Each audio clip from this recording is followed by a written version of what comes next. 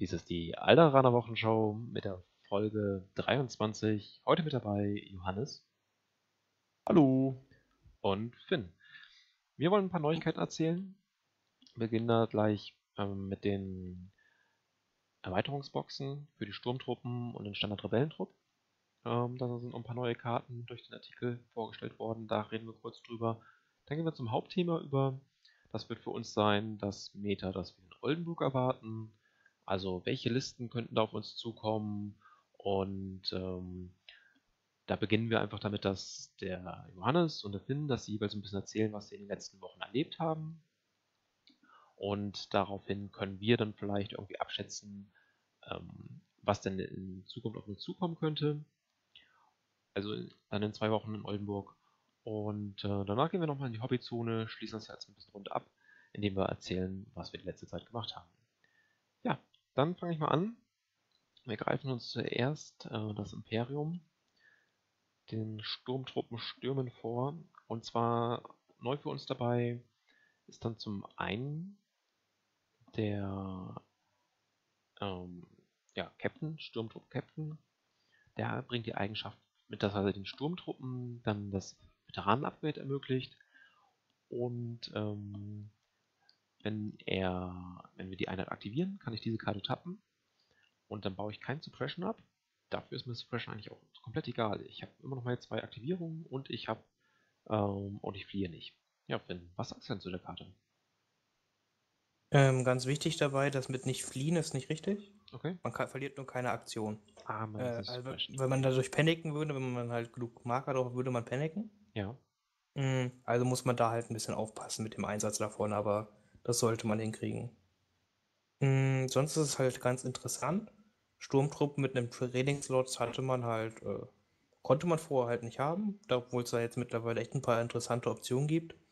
Mm, In den entscheidenden Situationen zwei Aktionen zu haben, ist auch äh, wirklich sehr interessant, wenn man es halt unbedingt sein muss, um halt auch auf den Marker zu kommen oder mh, jetzt dann doch noch den wichtigen letzten Schuss zu haben auf irgendeine Gegnereinheit oder was ähnliches. Und das für einen relativ günstigen Aufpreis von äh, 4 Punkten. 15 Punkte müsste da, glaube ich, kosten. Und das ist ein sch- schönes Paket. Mh. Was man damit alles machen kann, ist, glaube ich, kann man noch gar nicht abschätzen, weil da bestimmt auch noch viele Trainingsfähigkeiten kommen können, die es aber noch interessant machen. Mm. Aber es sind jeden Fall erstmal wieder mehr Optionen für die coolen Sturmtruppen, die jetzt ja gerade ein bisschen zu den neuen fancigen Short Troopern ein bisschen, äh, naja, ein bisschen alt aussahen. Und für viele Leute nehmen ja jetzt ganz viele Short Trooper mit. Und so ist da mal eine coole Option, die Sturmtruppen attraktiv zu machen. Das klappt, denke ich, ganz gut. Okay. Und sein Kollege, der Spezialist, ermöglicht der Einheit ein zweites ähm, Gear-Upgrade, also zum Beispiel einen Scout-Bericht und ähm, also einen Aufklärungsbericht und daneben dann noch äh, die Geländeausrüstung. Beides jetzt möglich zu kombinieren. Und er hat die Fähigkeit, die keine, also eine freie Aktion, ähm, wo er der Einheit einen Zielmarker gibt und eine, oder, ein Search-Token, muss dafür aber getappt werden. Kostet wie der Captain auch 15 Punkte. Finn, was sagst du zu denen? Auch sehr, sehr interessant. Mm, Den zweiten Gearslot weiß ich noch nicht. Äh, den, der Gearslot wurde auf Sturmtrupp bis jetzt halt eher, sage ich mal, selten benutzt. Mal ein Aufklärungsbericht, okay. Äh, aber sonst halt eher weniger. Vielleicht kommt da halt noch was, wo man denkt, oh ja, das ist auch noch eine coole Option. Da möchte ich den Gearslot vielleicht doch mal nutzen. Mm, Aber äh, einen freien Zielmarker haben, klingt ja erstmal nach etwas, was man möchte. Oder ein Search-Marker, der auch flexibel einsetzen kann, aber ich denke, meistens würde man doch zum Zielmarker greifen. Hm. Klingt halt auch wieder nach einer flexiblen Option, weil Sturmtruppen funktionieren mit Zielmarker ganz gut, habe ich gehört. Ja. Ähm, der Search-Token ist auf der anderen Seite natürlich auch sehr nützlich. Offensiv brauchst du ihn ja nicht, die drehen ja eh. Aber defensiv dann aus einem roten, den man nicht dreht, dann vielleicht noch einen Sturmtruppler mehr zu retten, das kann in einer kritischen Situation ja wirklich den Unterschied machen. Ja, ja. Ist halt, es ist halt sehr situativ, situativ das Search-Token in dem Fall. Hm. Ich denke halt, wenn man den Zielmarker halt direkt benutzen kann, dann sollte man ihn direkt als Zielmarker nehmen und nicht als Search-Token, weil um von dem Nutzen zu haben, muss man dem halt einfach würfeln und das ist dann ja auch nicht gegeben unbedingt. Ja, verstehe. Klar. Gut, dann haben wir die Rebellen. Ähm, dort eigentlich äh, sehr, sehr ähnlich. Wir haben dort halt auch den Captain wieder, der auch wieder die Veteranenfähigkeit mitbringt. Und auch wieder dieselbe Geschichte, man hat immer noch die Aktion, selbst wenn man, also zwei Aktionen, selbst wenn man einen ganzen Haufen Niederhaltmarker hat. Hm, auch dieses halt wieder eine Tab-Aktion, also muss die Karte getappt werden. Kann ich nicht jede Runde machen. Ähm, Johannes, siehst du für den Rebellen-Trooper Captain schon Verwendung in deinen Listen? Ja, also genau ist ja an sich von den Regeln her genau gleich wie bei den Sturmtruppen. Ist nur die Frage, äh, gibt es jetzt ein Upgrade vom Training, äh, vom Trainingsslot, das ich unbedingt auf meinen Rebellen haben will? Ja, habe ich jetzt noch nicht so ein, ein Muss gefunden. Ist einfach nur, äh, ja, das vielleicht mal situativ ähm, in einer bestimmten Liste kann das bestimmt vielleicht ganz nützlich sein. Ähm, auf jeden Fall bringt es halt wieder mehr äh, Varianz rein und äh, genau immer, immer mehr verschiedene Listen. Ähm, ja, und klar, du für so einen Aufpreis und hast halt diese eine Figur noch mehr, kriegst ja quasi auch den, den Lebenspunkt mehr und äh, einen Würfel mehr am Schießen, was ja sonst eigentlich selten. Selten wird ja der normale Truppler dazu genommen, sondern eher so ein Captain. Und ähm, ja, also bin ich gespannt. Ich werde es auf jeden Fall mal ein bisschen rumtesten mit den ein oder anderen Training, Trainings-Upgrade, aber äh, jetzt so im Voraus hätte ich jetzt noch keine Karte, wo ich sage, boah, die muss ich auch jetzt auf den äh, Rebellen draufpacken. Mal gucken. Und ja, und bei dem Techniker der Rebellen, im zweiten Gearslot, hm, wüsste ich auch noch nicht, wie ich den füllen würde. Wahrscheinlich halt äh, normal, äh, normalerweise hätte ich da äh, höchstens mal einen Aufklärungsbericht draufgepackt, so wie auch Phil gesagt hat um da schneller ins äh, Geschehen eingreifen zu können. Und äh, die freie Aktion mit dem Dodge-Token äh, ist natürlich nicht verkehrt, weil das natürlich äh, gut harmoniert mit der Nimble-Fähigkeit, dass wenn du die Einheit früh aktivierst, äh, vielleicht etwas offen steht, du kriegst deinen Dodge-Token kostenlos, kannst quasi trotzdem zwei Aktionen führen und kannst dann vielleicht mehrere Male den Dodge-Token auch zurückholen, wenn du öfter beschossen wirst. Und hm, dann kommt natürlich der große Haken. Kannst es halt nur einmal nutzen wegen der Tab wegen des Tab-Files. Äh, und hast leider ja auch keine Möglichkeit, wie bei den Sturmtruppen, durch Virs äh, die, die äh, über eine Kommandokarte zu äh, recovern. Deswegen da sehe ich, mh, hm, ist schon ein bisschen ein fader Beigeschmack, dass du halt wirklich dann wieder doch die Aktion opfern musst, um dir die Fähigkeit zurückzuholen. Und dann könntest du an sich auch ganz normal dodgen. Naja, also nutzt es an sich nur einmal, denke ich. Ja, aber an sich, der Search-Token kann auf jeden Fall auch nützlich sein, denke ich, weil du hast immer sehr viele Würfel, wenn du ein Set 6 drin hast. Kann es bestimmt mal passieren, dass da ein Search dabei ist. Dann kannst du auch nochmal offensiv dich ein bisschen stärken. Ja, das Ganze darf man ja nicht vergessen. Ähm, der normale fünfte Rebellentrooper kostet halt 10 Punkte, das, diese Karte kostet 14 Punkte. Heißt, wir kriegen diesen Dodge-Token für 4 Punkte. Und wenn es jetzt eine, einen Gearslot gäbe oder so, für 4 Punkte einfach einmal im Spiel oder Tab dann halt mehrmals im Spiel, ähm, Dodge-Token. Ich glaube, so eine Karte würde ich häufiger mitnehmen. Und der ja. fünfte Rebellentrooper bringt jetzt einen schwarzen Würfel mit. Das heißt, dementsprechend steigert er den Schaden ja auch deutlich. Ja, ja, auf jeden Fall. Also ist auf jeden Fall auf jeden Fall äh, nicht, nicht verkehrt, die Karte dabei zu haben. Aber man hat halt jetzt noch nicht so im Voraus, hätte ich jetzt noch nicht gesagt, ja, diese, diesen, diesen zweiten Gear-Upgrade-Slot oder so, den brauche ich unbedingt, sondern das ist dann vielleicht nochmal so ein netter Zusatz, falls man irgendwie das hat. Aber es, du hast natürlich recht, es wäre jetzt natürlich auch nicht schlimm, da äh, den nicht auszufüllen. Man kann ja auch einfach nur den Dodge-Token, den in Anführungszeichen den kostenlosen Dodge-Token oder Search-Token dann nutzen für die vier Punkte. Natürlich ja. nicht verkehrt. Nee, da hast du auf der anderen Seite aber auch recht. Ähm, ich wüsste auch noch nicht, wo, welche zwei Gear-Upgrades ich da auch aufpacken soll. Aber vielleicht werden wir noch überrascht. Ähm, man sieht auf dem Bild hier auch noch eine umgedrehte Gierkarte. Vielleicht versteckt sich da irgendwas Spannendes noch hinter. Ach so, die, die habe ich gar nicht. Damit habe ich gar nicht gerechnet. Mal gucken, ob da was Neues kommt. Aber ich glaube, äh, wenn man die ganzen Links anklickt auf dem Artikel, dann kommt irgendwo noch der Aufklärungsbericht. Also könnte auch sein, dass es eine alte wird. Oder Natürlich. Emergency Sims. Jo. Haben wir sonst noch Neuigkeiten, die wir teilen können? Wir haben einen, einen gewissen Post in äh, der Star Wars Facebook-Gruppe bekommen, äh, welches schon die, die Karten von Rex und Count Dooku veröffentlicht hat, äh, aus, äh, auf spanischer Sprache. Aber ich glaube, da wollten wir noch ein bisschen warten, bis wir die dann äh, darüber ein bisschen quatschen, wenn die dann auf Deutsch rausgekommen sind, oder? Ja, oder zumindest ein englischer Artikel kommt oder sowas. Genau. Auf jeden Fall interessant, dass die da unten in Südamerika immer schon die News haben, während wir noch hier auf die Artikel warten und äh, spekulieren. Und äh, die haben die dann schon. Und ja, interessant, was da alles so passiert in den Reihen von FFG. Mhm. Es ist halt jetzt ein, äh, es ist ja quasi gleichzeitig jetzt zum äh, Clone Wars Release dieser Leak rausgekommen. Und es ist halt wieder so ein witziger Beigeschmack, ne? Clone Wars Release, unbedingt weltweiter Release, gleichzeitig alles. Und ja, und jetzt kommen wieder Doku und Rex in, in Südamerika, werden jetzt einfach so halt verkauft oder ähnliches. Ist halt echt ganz witzig. Ja.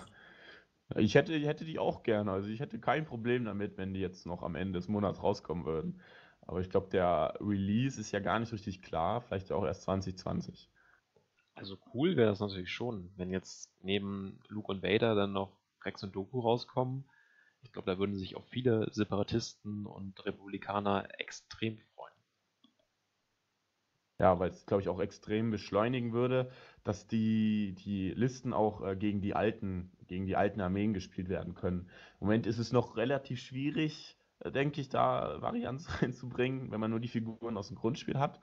Ähm, jetzt wäre ja der nächste Release dann, glaube ich, die äh, Phase 2 Klone und die äh, B2 Druiden. Ähm, Vorher kommt halt noch das Upgrade für die Phase 1 und B1 drüben. Stimmt, das kann, ja klar, das kann natürlich auch sein.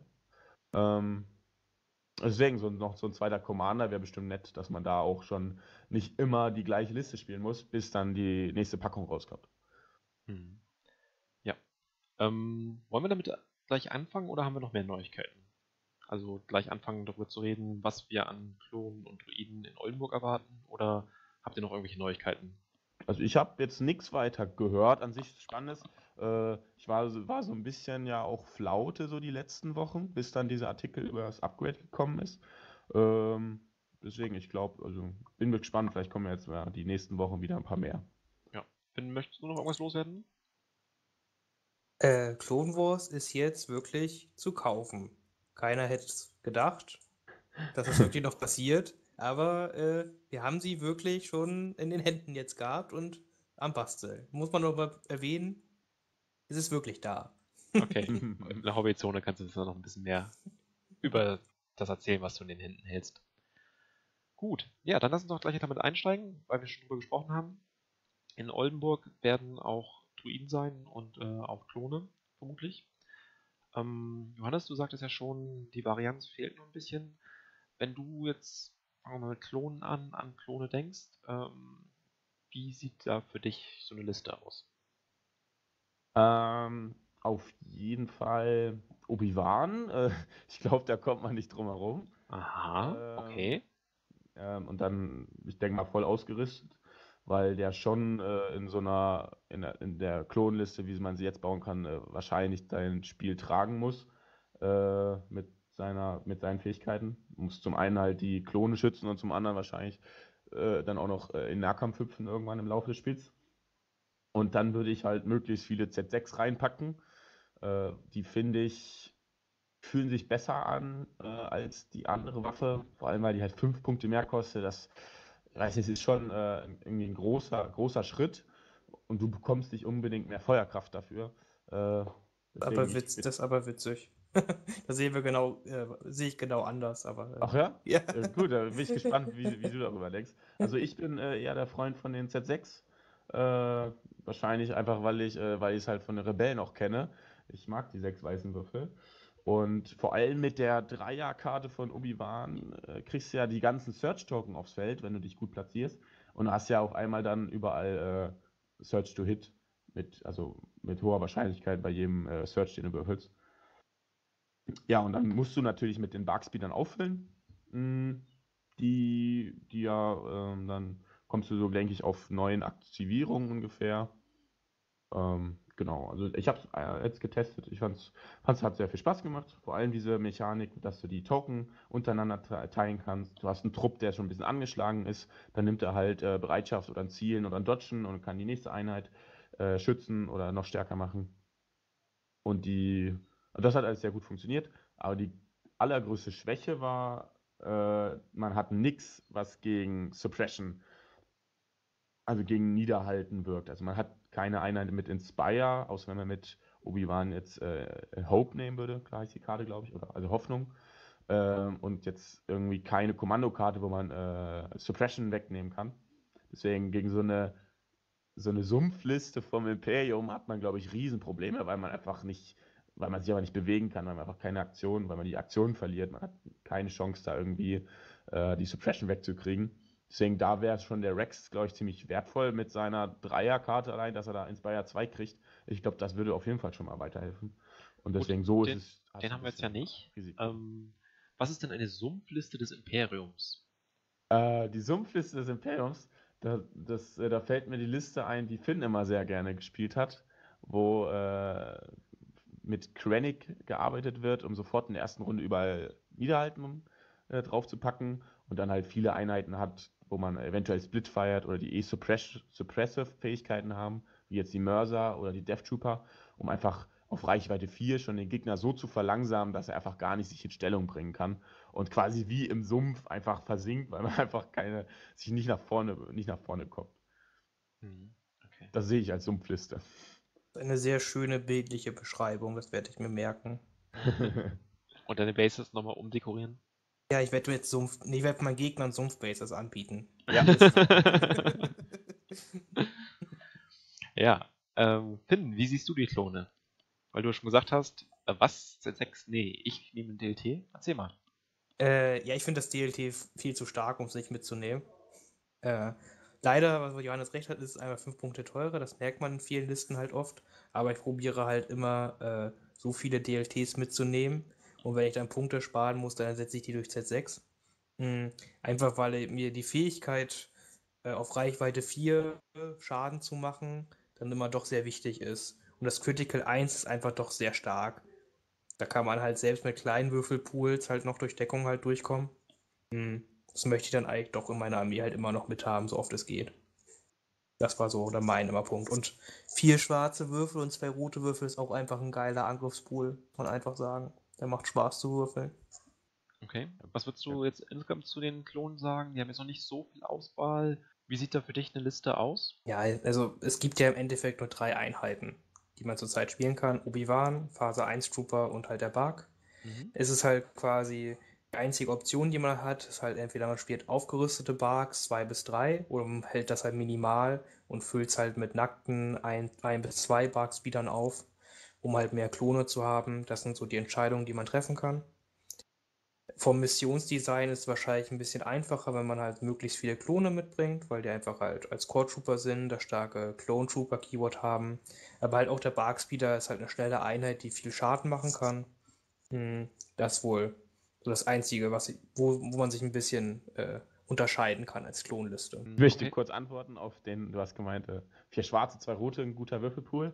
Aber jetzt Jetzt packe ich meine beiden Z6-Einheiten aus, nutze Fire Support, dann habe ich meine acht schwarzen und zwölf weiße Würfel.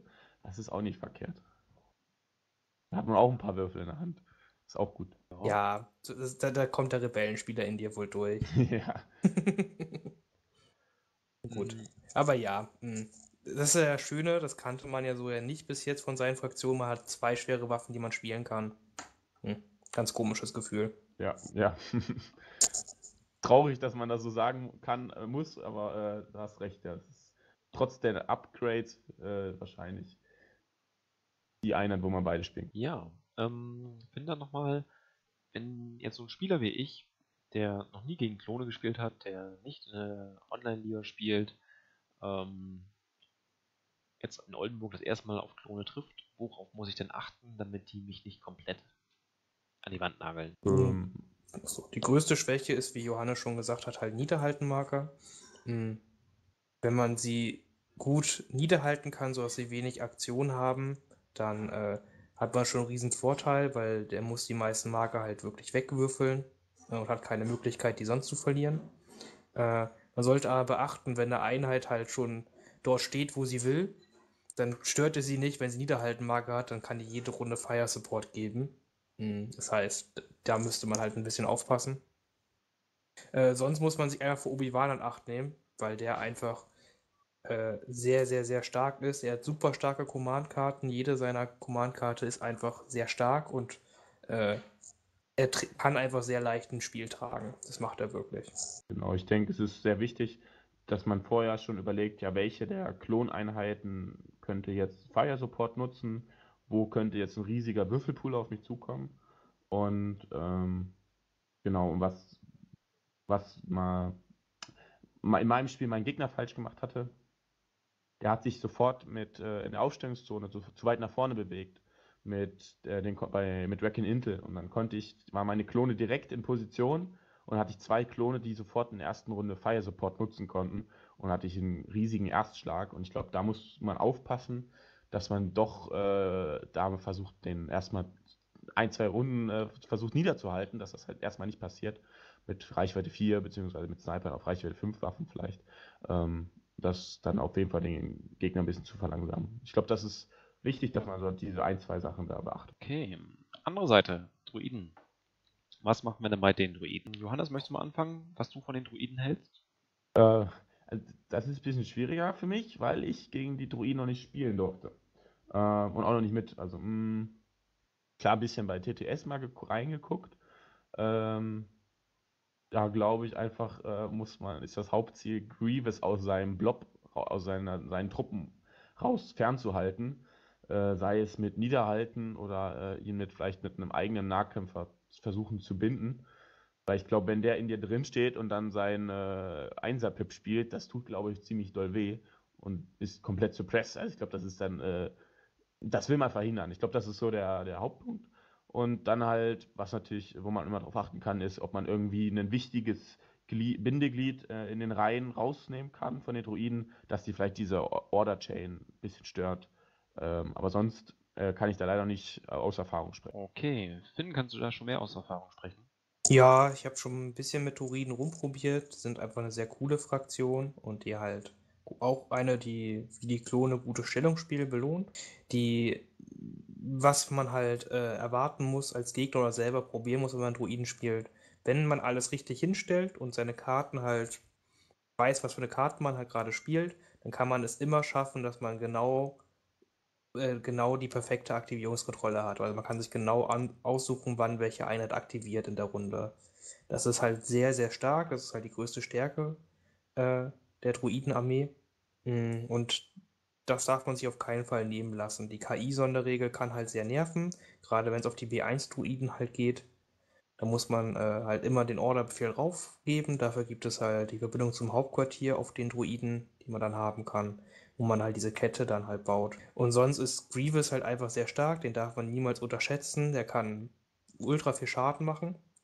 Aber was man echt nicht unterschätzen darf, wenn eine volle Einheit Druiden dann auf einmal in Reichweite ist und die die ganze Zeit nicht behagt wurde, weil man sich um Druidikas und um Grievous gekümmert hat, dann macht die halt auch einfach auch viel Schaden. Das sind viele Würfel, das sind zwar nicht alles gute Würfel, aber es ist immer noch eine volle Core-Einheit, die man auf schwere Deckung dann auch schwer rauskriegt. Also sollte man wirklich probieren, so früh wie möglich die B1-Druiden halt Schaden zu machen, wenn man es halt kann. Man hat es schwer, die, die großen Einheiten immer gut in Deckung zu kriegen. Deswegen sollte man da sich auch drum kümmern. Okay. Ähm, klingt ja schon sehr gut. Dann ähm, fangen wir doch mit an mit dem, was wir besprochen haben. Johannes, so deine letzten Spiele, vielleicht auch von deinen letzten Turnieren, was hast du so gesehen bei, den, bei deinen Gegnern, bei deinen Mitspielern? Ähm, mein letztes Turnier war das äh, Monatsturnier in Nürnberg, wo ich äh, wieder, wo wir wieder aus Erfurt da mit einer kleinen Gruppe hingefahren sind. Und da wurde wirklich alles querbeet gespielt. Das war gerade frisch nach dem äh, Punkte-Update, äh, wo dann äh, die Spieler einfach versuchen, äh, neue Listen ausprobiert hatten, ähm, um die neuen Sachen halt bisschen zu testen. Und ja, die witzigste Liste, die dann auch im Finale stand, war dann eine Liste mit Leia als Commander, vier nackten Rebellentruppen, drei AT-RTs mit Rotationsblaster und zwei T-47. Ähm, das, war, das war auf jeden Fall mal was anderes. Hat aber an sich, muss man sagen, hat an sich äh, relativ gut funktioniert. Ähm, ist ja auf jeden Fall, hat ja zwei Spiele gewonnen und ist dadurch auch ins Finale gekommen. Und das auch zu Recht. Also der Spieler hat das schon gut gemacht. Und ähm, ja, hatte dann halt Pech im Finale, dass äh, das falsche Szenario gespielt wurde. So war nämlich eins, wo er, wo nur die äh, Truppler-Einheitenführer Punkte machen konnten. Und dann stehst du mit der Liste natürlich ein bisschen blöd da, weil dann kann der Gegner sich auf die äh, Core-Truppen konzentrieren und dann kann er kannst einfach keine Punkte mehr machen. So, das ist natürlich dann blöd gelaufen. Mm, und ansonsten auf jeden Fall wieder viel, äh, auf ein paar Chewbacca's wieder gesehen, die so ein bisschen, die, der ein bisschen billiger geworden ist. Pathfinder wieder, waren wieder gespielt. Äh, Jin habe ich wieder gesehen. Ähm, deswegen, das war alles, fand ich sehr nett, dass da quasi äh, auf jeden Fall die neuen Einheiten, also in Anführungszeichen die neu angepassten Einheiten wieder gespielt wurden. Äh, also ich glaube, so, ich würde mich nicht festlegen, dass äh, jetzt die, die, die und die Liste äh, besonders oft gespielt wird, sondern ich glaube, es wird eine sehr, sehr hohe Vielfalt geben in Oldenburg. Okay, da, da kommen Ähm. wir gleich erstmal zu. Ja, gut. Ähm, Ach so. Zu der Liste, die du, gespielt hast, mit den ATRTs und den Speedern. Was glaubst du, was hat sie so gut gemacht? Sie hat ja durchaus Spiele gewonnen, also fast alle. Ja, du hast halt fünf Einheiten, die den Schaden machen sollen. Und die haben halt alle Panzerung.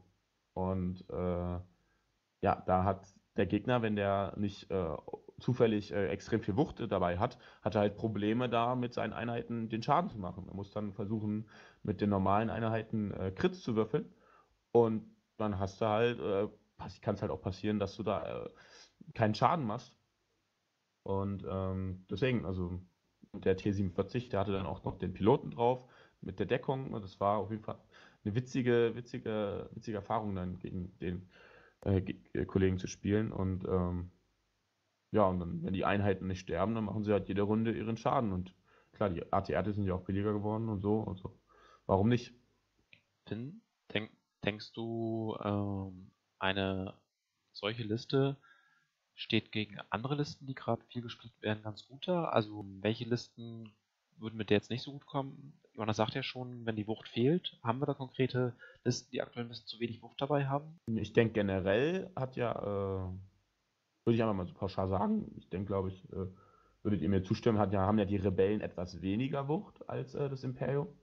Das heißt, wenn so eine Liste gegen eine re klassische Rebellenliste kommt, ähm, dann denke ich auf jeden Fall, dass die äh, da äh, Möglichkeiten hat, äh, da dann so die Spiele zu gewinnen. Und wenn man dann gegen das Imperium kommt, wo dann halt schon häufig es so ist, dass jede Einheit wenigstens Critical hat oder äh, Wucht. Jetzt auch mit den Chores und dann äh, mit den vielen Zielmarkern hat man, denke ich, auch hohe Wahrscheinlichkeit, dass man auch dann ein, zwei Crits immer dazu würfelt. Da kann es natürlich auch sein, dass dann halt äh, dir irgendwie mit bisschen Pech da die Einheit, die Flieger vom Himmel geholt werden, relativ schnell oder die ATRTs und dann hast du halt nicht mehr die Möglichkeit, da irgendwie zu punkten. Deswegen, äh, es war auf jeden Fall sehr witzig und hat auch einigermaßen funktioniert. Aber ich glaube, äh, generell wird sich solch, werden sich solche Listen dann doch nicht durchsetzen können. Finn, äh, für dich nochmal die Frage, ähm, denkst du, es gibt aktuell Listen, die nicht so gut auf viel Panzerung eingestellt sind? Mm, Also ich finde das in, so solche Konzepte halt wirklich interessant. Ich denke, das kann auch, also ich sehe die imperialen Listen zurzeit gehen echt viele von Wucht weg, einfach weil man die Short Trooper hat, die halt Critical haben. Klar, Critical äh, kann auch Crits produzieren, dafür ist es ja auch ganz gut. Mm, Aber das muss man halt wirklich hart würfeln. Und ich habe schon ganz oft gesehen, dass man das halt einfach nicht tut. Das klingt halt ganz, das klingt halt ganz doof, weil da würfelst du halt ein Würfelpool aus acht Würfeln. Da ist kein Crit, kein Search bei. Zwar sechs Hits oder sowas, aber dann würfelt man das auf Panz Panzerung und geht halt alles weg. Und äh, deswegen ist es gerade gegen solche mo moderneren Short Trooper Listen oder halt auch gegen Rebellen halt insgesamt schon ganz gut. Und gegen gute Würfel nimmt man halt ein, zwei Astromex mit oder was ähnliches. Und schon kann man da auch ein bisschen reparieren. Und das kann ganz gut funktionieren. Warum eigentlich nicht? Also ja, ich würde die Liste vielleicht nicht so extrem spielen. Vielleicht sind zwei T47 ein bisschen zu viel.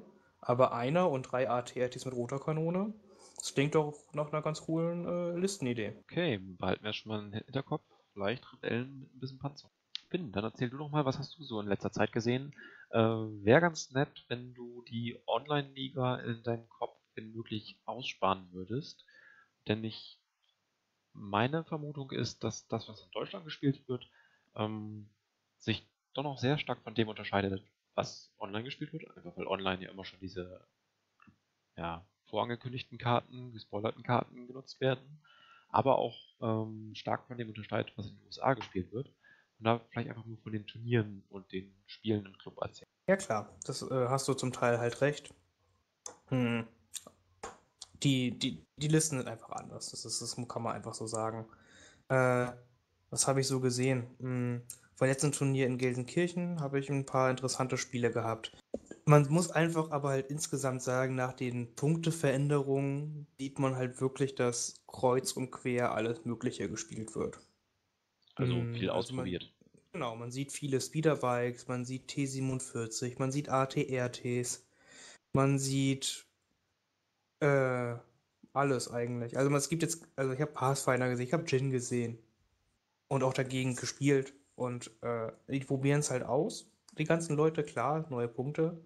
Muss auch sagen, es fühlt sich insgesamt auch alles halt cool an. Also ich äh, persönlich finde AT-ATs cool und spielbar. Ich finde Jin cool und spielbar. Ich finde T47 cool und spielbar. Ich finde Speederbikes jetzt auch echt wieder gut.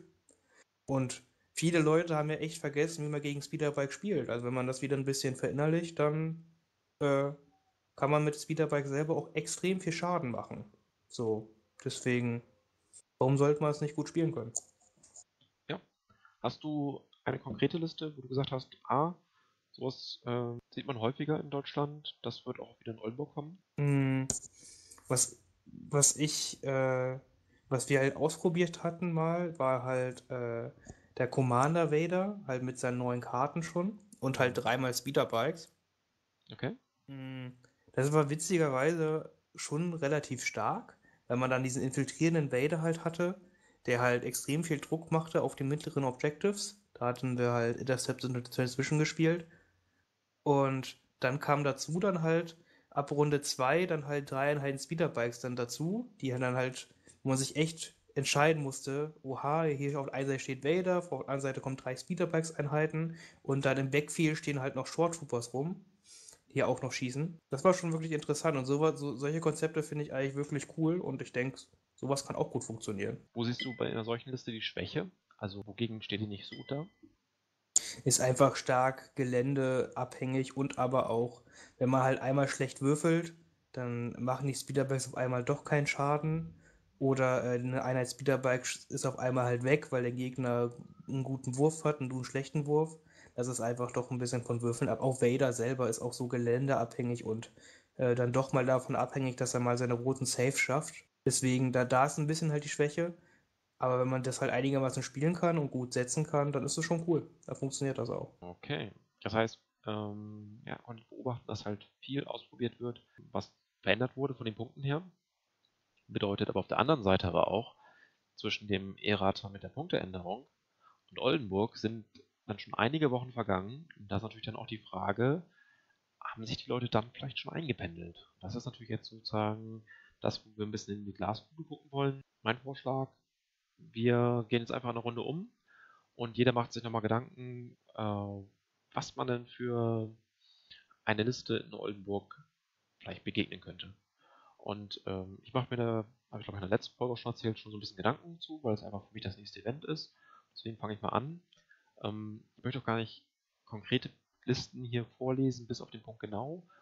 Aber ich mache mir auf jeden Fall Gedanken viel über Lichtschwertschwinger, über Luke, Vader, beide Versionen.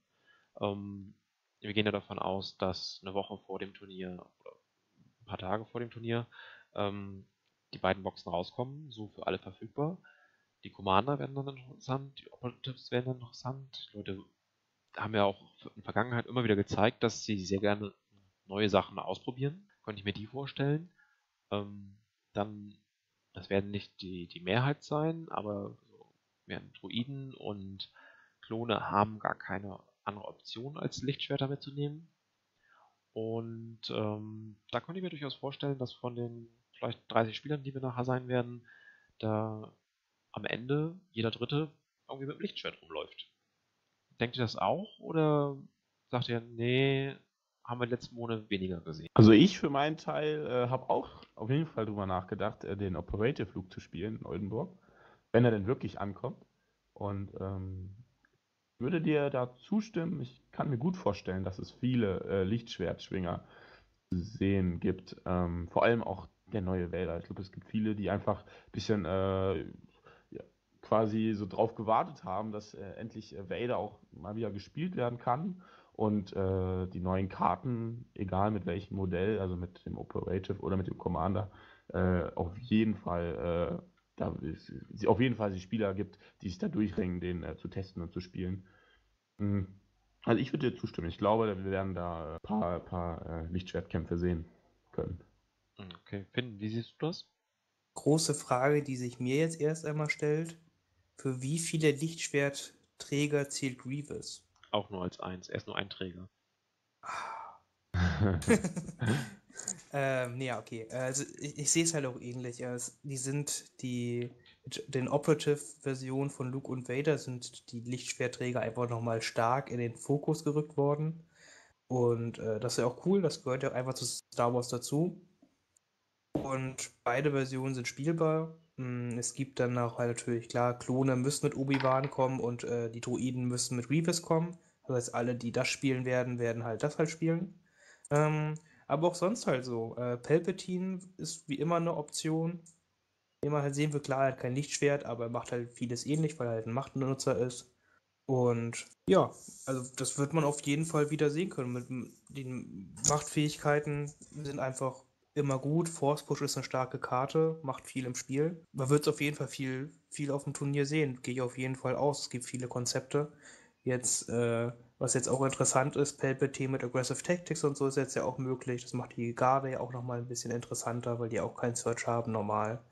Ich denke, generell wird man, denke ich, Aggressive Tactics auf jeden Fall bei den Imperialen auch vermehrt sehen. Bei den Rebellen ist es nicht ganz so nützlich noch, aber bei Imperium kann ich mir schon sehr gut vorstellen, dass da viele Aggressive Tactics gespielt werden. Und ja.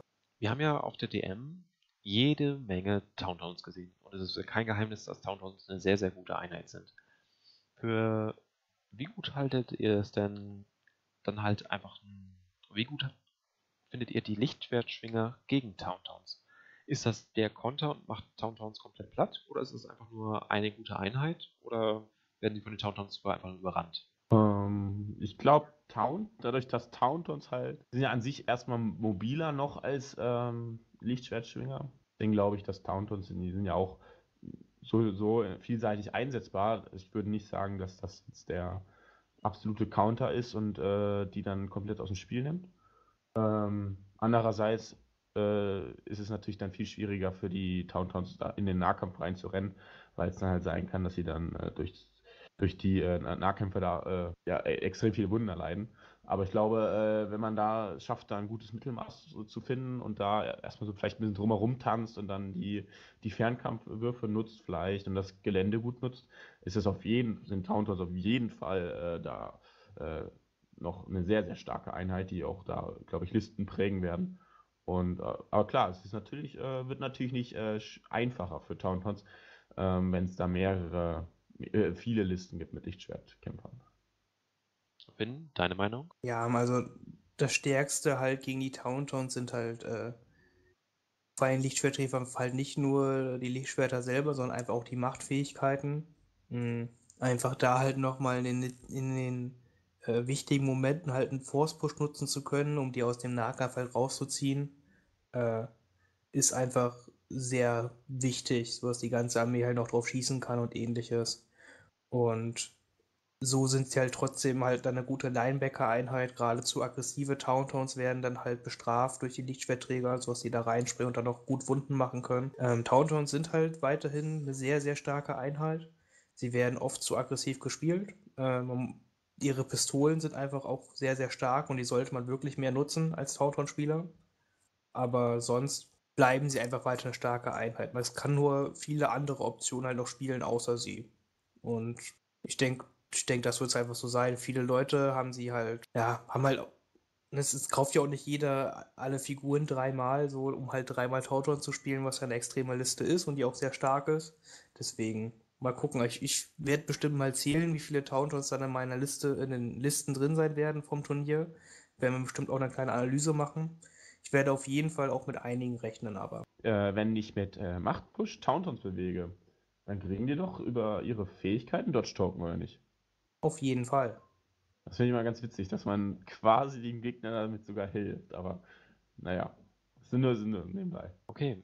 Finn, irgendein heißer Tipp von dir, was man in Oldenburg erwarten könnte? Ähm, wie, wie ich schon angedeutet habe, denke ich, dass halt so Aggressive Tactics in Kombination mit Short Troopern halt vielleicht beliebt sein wird. Einfach weil es wohl, denke ich, eine sehr neue, potente Option sein wird beim Imperium. Hm. Sonst, wie auch gesagt, Palpatine wird man bestimmt sehen. Der Vader wird bestimmt viel gespielt werden, weil einfach alle Leute Vader lieben. Ist einfach ein cooler Charakter, sowohl in der Agentenversion als auch in der Commander-Version wird man den auf jeden Fall sehen. Und ja, man wird auch ATST sehen, weil es einfach so ein hübsches Modell ist. Ich habe jetzt schon länger keinen Panzer mehr gesehen, obwohl das sehr gut ist, aber ich hoffe, ich werde auch in Oldenburg auch einen oder anderen Panzer sehen. Was ein bisschen in, äh, was ich jetzt echt weniger gesehen habe, das weiß ich gar nicht warum. In letzter Zeit sind halt äh, die Kopfgeldjäger, Boba und Post wurden in letzter Zeit weniger gespielt. Ich hm. bin denen auf der DM noch sehr häufig begegnet. Das ist jetzt auch erst. Ja, damit her. in letzter Zeit meine ich halt die letzten drei, vier Wochen. Ach so. Okay. Hm quasi seit London im Endeffekt hat man die weniger gesehen. Kann einfach sein, weil die Leute halt neues Zeug ausprobieren wollen. Aber Kopf Kopfgeldjäger sind weiterhin gut und werden bestimmt auch wieder coole Konzepte mitgeben. Ja, also es ist halt einfach das Schöne ist halt gerade, finde ich wirklich, man kann jetzt nicht sagen, äh, ja, diese Einheit wird man auf keinen Fall sehen, weil die ist komplett schlecht.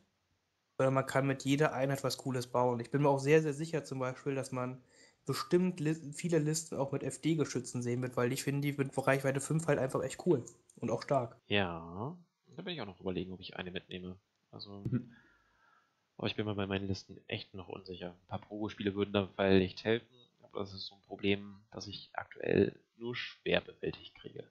Gut, Johannes, hast du ähm, noch eine Idee, was wir sehen können? Ich sehe ich es äh, im Groben so wie Finn. Äh, dass es kein, keine Figur gibt, die man quasi sagen würde, wo man jetzt sagen würde, ja, die ist jetzt gerade überhaupt nicht spielbar, das funktioniert nicht. Ich glaube, wenn man da mit ein bisschen Zeit reinsteckt, dann kann man auf jeden Fall da um jede Einheit, mit jeder Einheit eine coole und interessante Liste bauen, die auch auf jeden Fall Potenzial hat. Und ähm, ja, also ich glaube, ich glaube, äh, die neuen Einheiten, Luke, Luke Vader, äh, werden auf jeden Fall gespielt, auch wenn vielleicht noch nicht so viel äh, Erfahrung da äh, noch äh, herrscht, weil die ja wirklich dann erst eine Woche oder ein paar Tage vorher rauskommen. Ich glaube, das ist aber vielen Spielern egal. Die sagen, ich teste das einfach.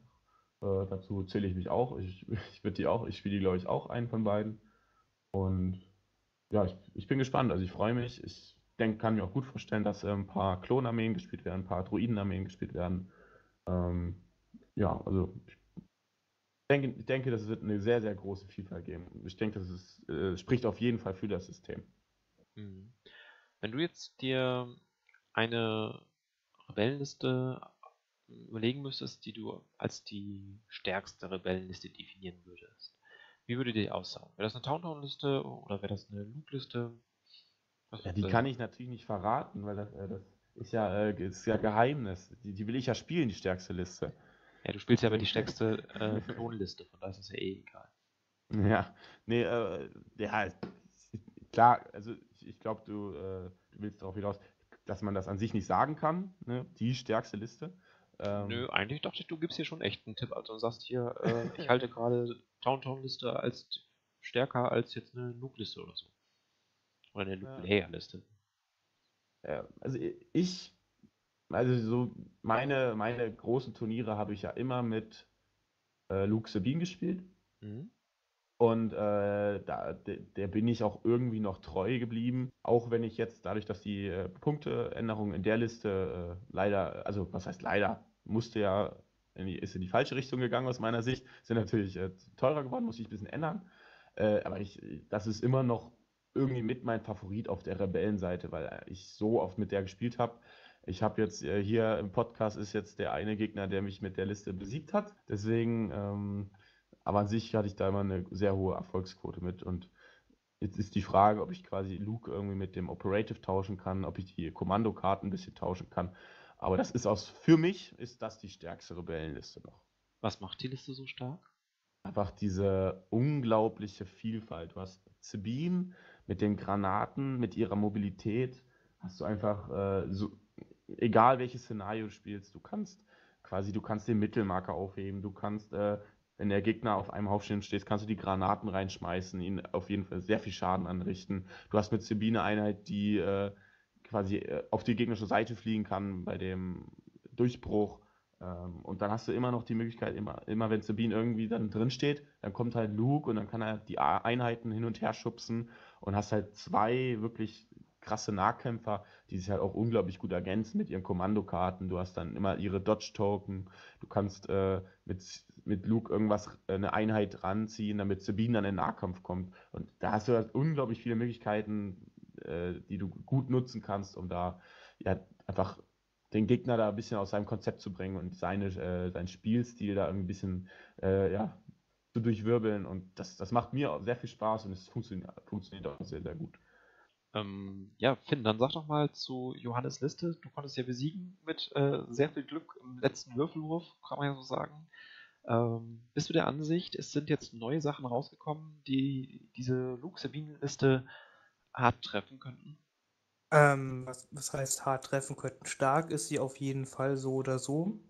Mm, das einzige Problem bei der Liste kann halt sein, dass sie ein wenig geländeabhängig ist, weil Luke und Sabine einfach ein wenig Gelände brauchen, um halt äh, mitspielen zu können. Sie brauchen ein paar Häuser oder andere Line-of-Sight-Blocker, wo sie hinter verstecken können, dass die dann halt irgendwie dann relativ sicher in die gegnerische Linien halt reinrauschen können und dann ihr Ding machen können.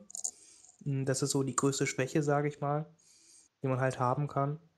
Äh, sonst sind halt einfach bei Rebellen Taunton-Listen halt, finde ich, wirklich sehr, sehr, sehr stark. Da gibt es ja auch verschiedenste Varianten von, ob man da halt noch einen Luke mit reinnimmt oder klassisch halt Lea, drei Tauntowns, zwei Sniper, sechs, sechs Trupps reinnimmt. Ist ja, das ist ja, die Tauntowns sind ja so günstig und flexibel, da kann man sehr, sehr viel mitspielen. Und ja, das sehe ich zurzeit halt einfach als sehr starke und flexible Liste halt an. Townhalls machen vielen Gegnern Probleme. Sie haben, sind schnell, haben sehr starken Beschuss, können im Nahkampf sehr viel wegbinden. Hm. Man muss halt wirklich nur aufpassen, dass man sie nicht reinschickt und so, dass sie dann sofort tot sind. ja, ähm, Towntowns, wie wir auf der deutschen Meisterschaft schon gesehen haben, wurden viel gespielt. Ich finde, sie sind auch für ihre Spielstärke verhältnismäßig einfach zu spielen. Ich finde zum Beispiel, dass man eine Luke-Sabine-Liste, da braucht man mehr Übung, um sie richtig gut zu spielen. Ähm, was bei Towntowns dann teilweise schon etwas einfach ist. Einfach schnell rennen, irgendwo schnell reinlaufen, das Ziel nicht sofort totschlagen, damit man äh, nicht erschossen wird und dann nächste Runde weitermachen. Ähm, Finn, was würdest du den Leuten mit als Tipp auf den Weg geben, wenn sie gegen Towntown spielen? Worauf sollten sie achten?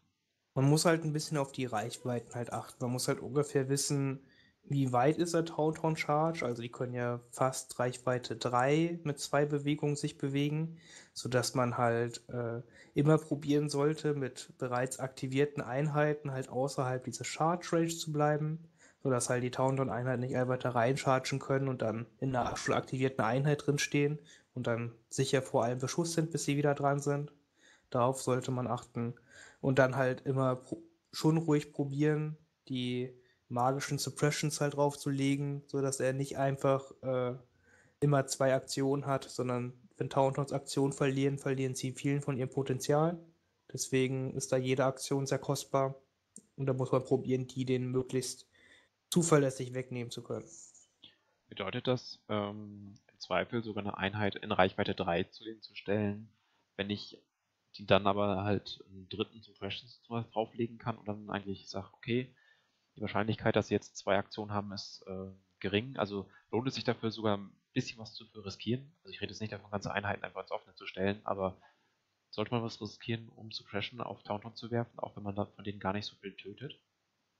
Hm, kommt dann ein bisschen darauf halt an, wo sie sich danach hinbewegen können. Wenn sie quasi so eingeschränkt sind, dass sie fast nur noch im Offenen stehen können mit nur einer Aktion, dann auf jeden Fall. Äh, wenn sie aber gleichzeitig vorrücken können und dann auf die Einheit halt schießen können und nicht vom Rest der Armee gesehen werden, dann lohnt sich halt wieder nicht. Mhm. Okay.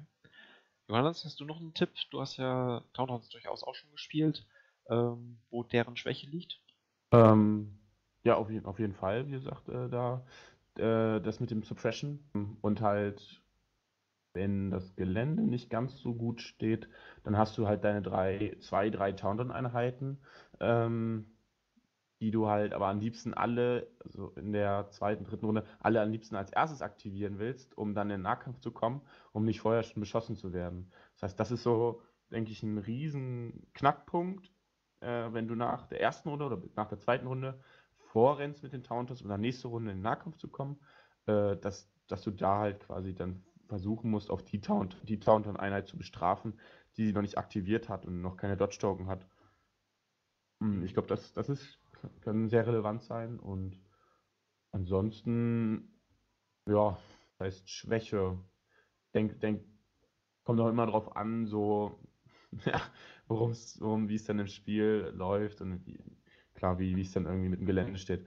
Ähm, ja, also ich denke, an sich ist schon sehr, sehr, sehr, sehr flexible Einheit und da ist es dann, kommt so ist es wirklich auf Feinheiten drauf an, wo du sie bestrafen kannst und da musst du halt den richtigen Zeitpunkt abpassen. Ähm, Marvin hat halt, halt immer erzählt, wie das große Problem ist, dass halt in der einen Runde wartet der Tauntaun-Spieler mit seinen elf, vielleicht sogar zwölf Aktivierungen bis ganz ans Ende, bis er die Tauntauns aktiviert, dann rennen die in die perfekten Positionen, in der nächsten Runde aktivieren die Tauntaun alle, alle als erstes, wenn es optimal läuft.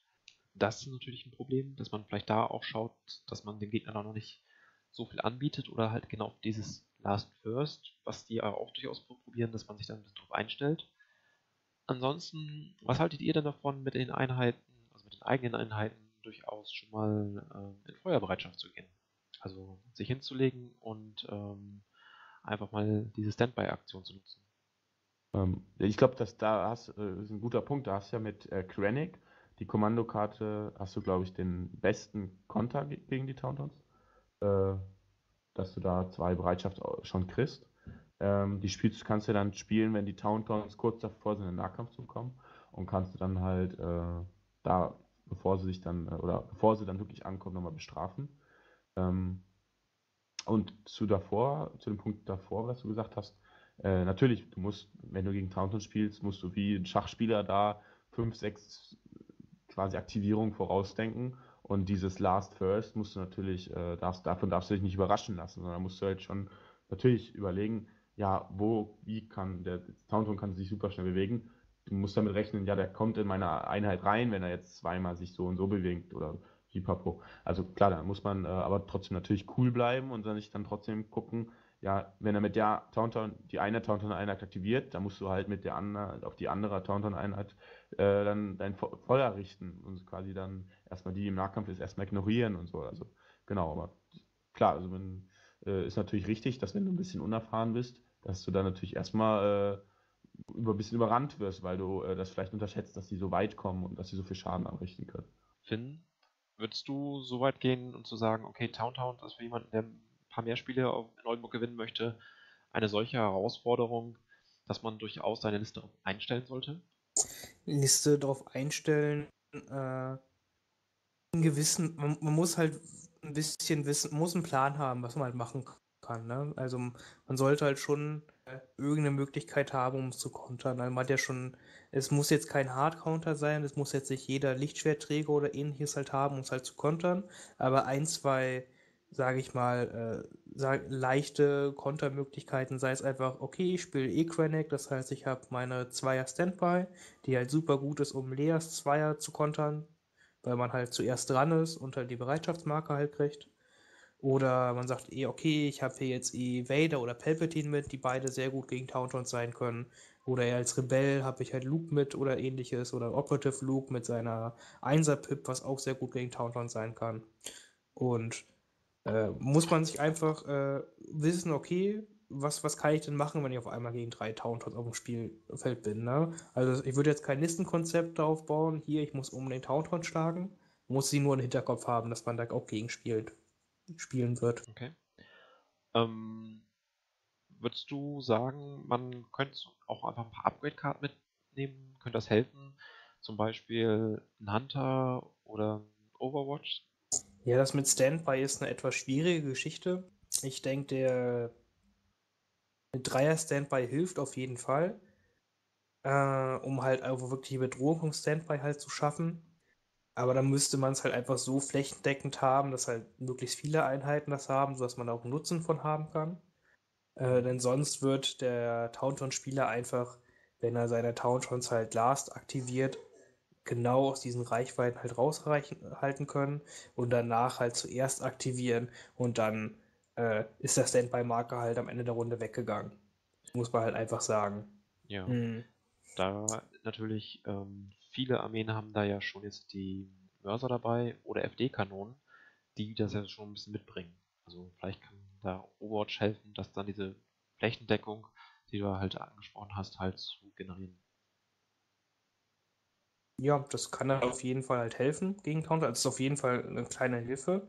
Mhm, alleine wird es wahrscheinlich halt nicht reichen, aber wenn man halt sich das so und dann mit gutem Stellungsspiel halt hinspielt, dass die Tauntons, wenn sie halt irgendwo wo reinlaufen, halt äh, erstmal zwei bis drei äh, Standbys abkriegen, das ist natürlich schon mal ganz interessant. Okay. Ähm, dann andersrum, wir haben jetzt viel über Rebellen geredet, beim Imperium. Finn, was ist da so dein Tipp? Was könnte die stärkste Imperium-Liste sein? Im Zusammenhang einfach, weil Krennic eh schon sehr gut ist und Short Troopers wirklich sich als recht stark erwiesen haben. Im Zusammenhang das Ganze mit Aggressive Tactics sehe ich halt schon eine äh, Krennic-Liste mit äh, ruhig zwei bis möglicherweise vier Short Trooper-Einheiten mit Mörsern und ein paar Snipern und Death Troopern schon als eine sehr, sehr, sehr starke Liste an, die einfach ultra viel Feuerkraft hat. Erklär doch bitte mal mhm. eben, was die Liste macht, insbesondere mit ihren Short Troopern, wo da die Kombination liegt. Vielleicht gibt es ja den einen oder anderen Spieler, der das noch nicht erleben durfte. Genau, also äh, Krennic gibt halt das Schöne an Krennic und Death Troopern ist ja, dass er diesen freien Befehl halt äh, generiert durch Gefolgschaft. Und mit den Death Troopern hat man die Möglichkeit, einen Comms-Relais äh, zu nehmen. Das heißt, diese Death Trooper kriegen jede Runde einen freien Befehl, den sie weitergeben können auf zum Beispiel Short Trooper-Einheiten. Short Trooper-Einheiten freuen sich sehr über offene Befehlsmarker, weil sie einmal einen Zielmarker kriegen, wenn sie einen Befehl kriegen. Und dann geben sie diesen Befehl halt äh, an einen Mörser weiter der auch mit einem Comms-Relais ausgerüstet werden kann, der den dann wieder weiter an eine andere Short Trooper-Einheit geben kann. Und so hat man so ähnlich wie bei den Druiden eine kleine Kette, nur kriegen halt alle möglichen Short Troopers dann Befehl. Und durch Aggressive Tactics kriegen sie zusätzlich zu diesem Zielmarker auch noch einen Search-Marker, wodurch sie äh, sehr doll offensiv als auch defensiv nochmal zusätzlich gebufft werden zum Zielmarker. Mhm. Und das bedeutet dann halt, wenn man so eine Liste halt spielt, dass man auf Reichweite 4 und äh, mit den Snipern, die man halt auch Reichweite 5 extrem viel Schaden machen kann. In der Liste kann jedes Element auf Reichweite 4 schießen, bis auf Krennic. Und auch äh, durch Critical oder einen größeren Würfelpool auf Reichweite 4 Deckung durchbrechen kann. Jo. Und ähm, man muss ja sagen, das war mir, also mir war bewusst, dass diese Short Trooper schon mehr Schaden machen als Sturmtruppen. Aber mit dem äh, Zielmarker und dann auch dem Search-Token, da gehen die ja schon fast in die Richtung von Jazz Troopern, was den Output angeht. Nur hat man davon jetzt nicht zwei Einheiten auf der anderen Seite stehen oder halt auch mal drei, was ich schon mal erleben durfte, sondern dann stehen da halt drei von denen und noch die Death Trooper Einheit vielleicht oder wie Finn schon sagte, vier Shot-Einheiten. Da kommt dann wirklich eine ganze Menge zusammen. Und äh, wenn man Würfel wiederholen darf, kommt man dadurch ja immer näher an die Wahrscheinlichkeit heran, also an, an den äh, Durchschnittswert, den garantiert man durch Wiederholungswert. Ja, garantiert nicht, aber erhöht die Wahrscheinlichkeit einfach. Johannes, durftest du auch schon mal gegen so eine Liste spielen? Ähm, naja, an sich, äh, die Liste die ist mir bekannt und die ist auch, würde ich sagen, das ist die Liste, die, äh, wo ich am meisten äh, Bauchschmerzen habe, wenn ich gegen die spielen muss. Ähm, aber Aggressive Tactics macht das natürlich nochmal wesentlich unangenehmer. Äh, weil dann auf einmal die Short Trooper nicht so gut, nicht nur so gut schießen können wie Death Trooper, sondern auch gen fast genauso gut verteidigen mit ihren äh, Judge Token. Deswegen, das ist ähm, ja, auf jeden Fall eine riesige Gunline, wo man dann erstmal mit seinen äh, offensiven Einheiten äh, erstmal rankommen muss äh, und über diese Reichweite 4 äh, Barrikade quasi überbrücken muss, damit man selber mit seinen Reichweite 3 Einheiten oder seinen Nahkämpfern überhaupt agieren kann. Ähm, und das wird, glaube ich, jetzt nochmal schwieriger. Und da bin ich gespannt. Also das glaube ich, ich glaube auch, das ist die äh, Stand jetzt beste Imperiumsliste. Davor war es ja so noch bis, äh, war ja noch äh, äh, Bosk oft dabei in dieser äh, Quenic Short Trooper Death Trooper Kombination. Aber ich glaube, durch Aggressive Tactics kann man auch äh, auf ihn verzichten, da du an sich die Befehle von Quenic geben willst, damit du die Search Token auch jede Runde kriegst. Genau, also ich habe das äh, was ich auch selber noch viel gespielt habe, in der Online-Liga jetzt jedenfalls, du ist halt äh, trotzdem noch mit Bosk, aber einfach nur noch eine Karte vom Bosk mitnehmen. Einfach dadurch, dass man halt noch eine Suppressive-Waffe gegen mitnehmen kann und gegen andere Imperiale ist das Pierce einfach sehr stark. Mhm, aber eine Abwandlung davon sollte man auf jeden Fall als Gegner, äh, wird man wohl erleben können. Was man sonst aber auch erleben wird, was ich auch sehr stark finde, ist halt der Operative Vader. Der ist einfach auch stark. Da gibt es auch verschiedene Möglichkeiten, die man mitnehmen kann.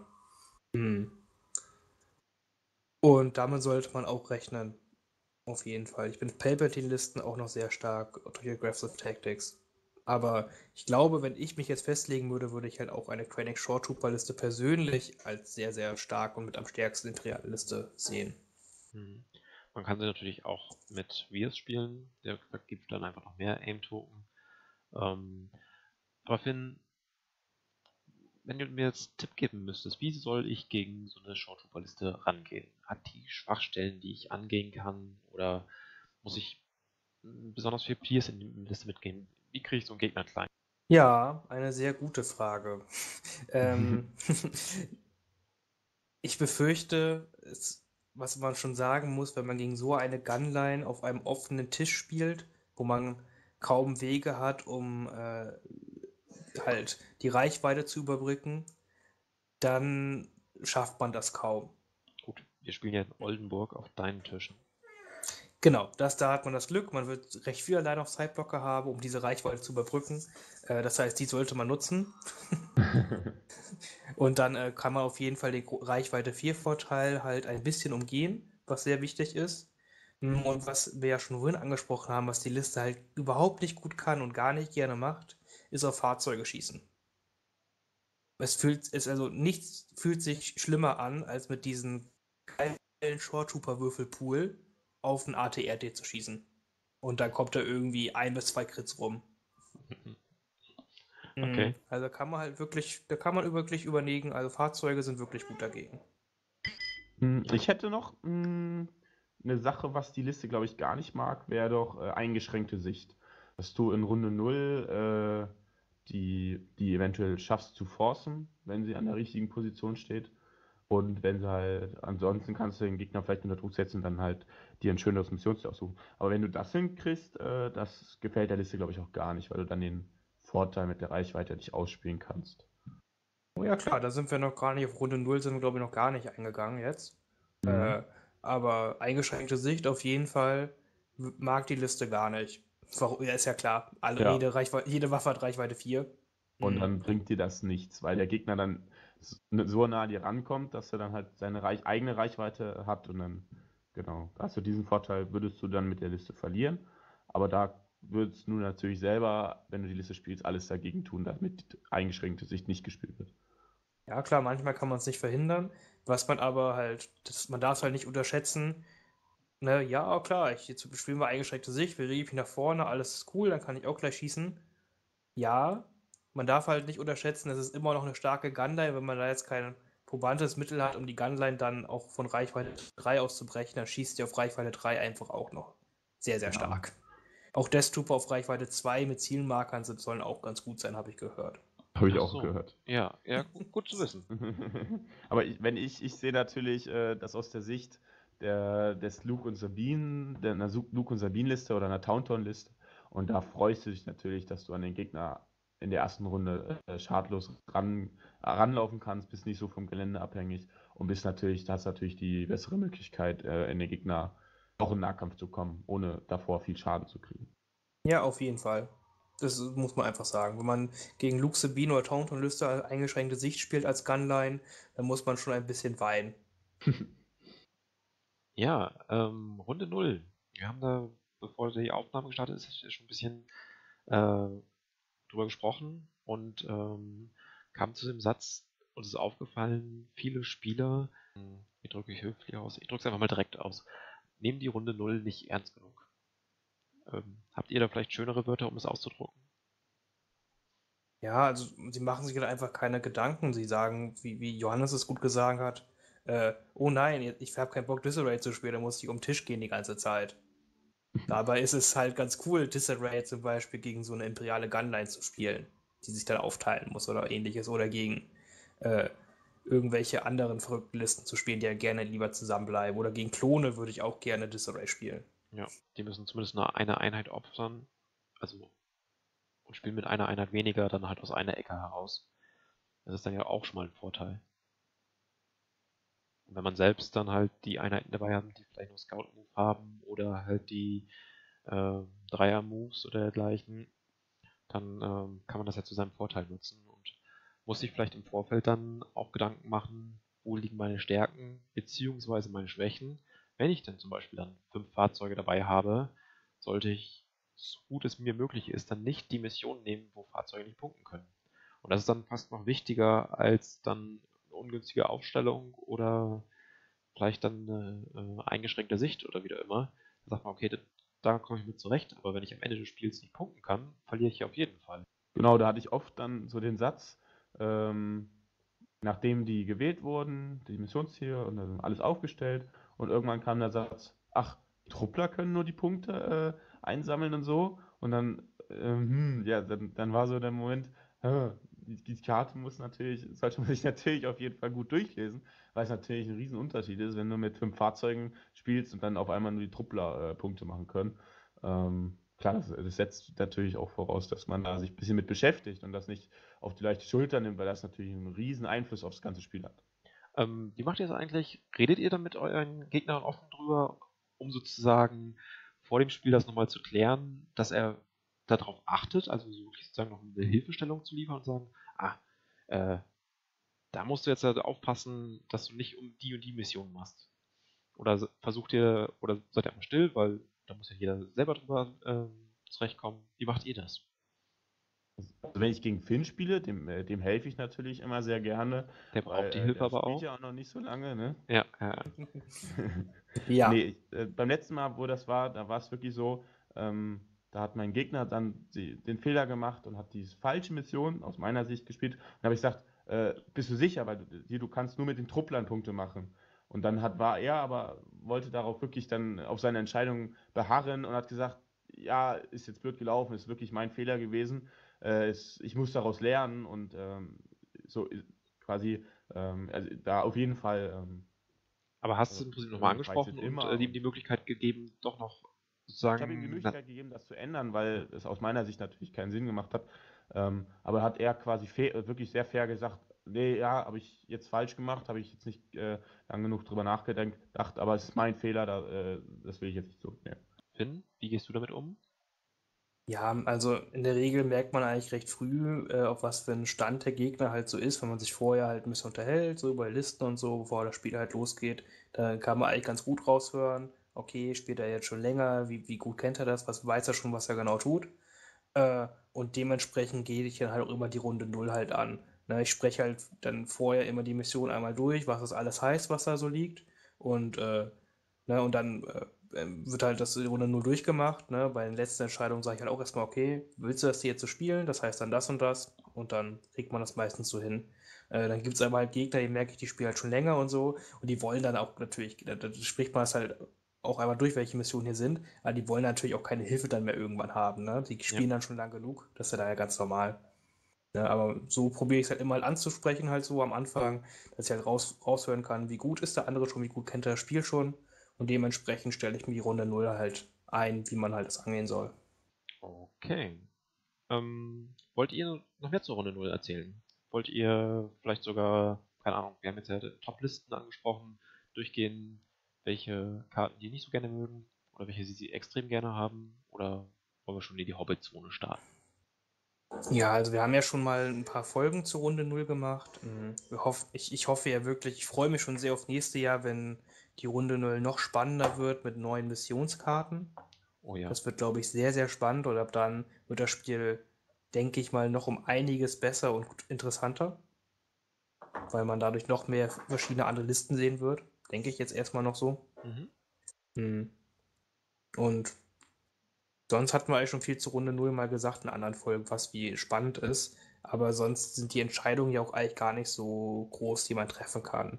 Man muss halt kurz gucken, okay, spiele ich eine Fahrzeugliste, also will ich Missionsziele haben, die Fahrzeuge halt äh, bevorzugen oder halt nicht.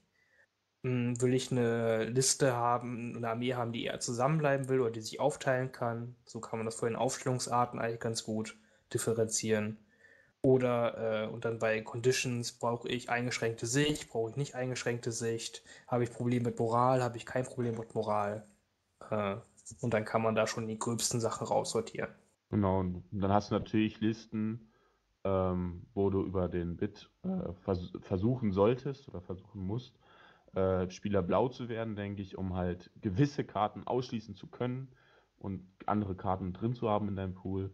Ähm, ich glaube, da, das ist auch wichtig. Und dann gibt es natürlich auch Listen, die ein bisschen flexibler sind und vielleicht gar nicht so Wert drauf legen, ähm, Spieler blau zu werden. Und ich glaube, da, da hast du noch ein bisschen äh, quasi äh, Möglichkeit, da ein bisschen äh, anzupassen in der Liste. Aber sonst, ja, quasi. Mein Lieblingsgrad ist Sandsturm, weil ich immer diese äh, aggressiven Nahkampflisten spiele, aber ja. also eingeschränkte Sicht. Okay. Gut, dann würde ich sagen, wir finden nochmal ein Schlusswort zum Meta. Ich versuche das alles nochmal ein bisschen zusammenzufassen. Ihr könnt euch in der Zeit überlegen, was ihr unbedingt noch zum Meta loswerden möchtet für Oldenburg, für das deutsche Meta, rückblickend oder halt im Vorblick. Ähm, oder mich dann einfach ergänzen. Ja, wir haben halt gesagt, ähm, es ist gar nicht so leicht zu sagen, wir werden äh, dies und das sehen. Es wurde in den letzten Wochen in Deutschland viel, viel ausprobiert, viele neue Einheiten. Wir haben eh immer ein breites Feld an Einheiten gesehen. Bei Legion ist jede Einheit äh, auf dem Turnier einwandfrei spielbar und mit, man kann mit jeder auf dem Turnier gewinnen. Mhm, mit einigen Einheiten sind vielleicht einfacher zu spielen, äh, mit anderen braucht man mehr Übung, kann aber auch mit gewissen Kombinationen den Gegner doch sehr stark überraschen.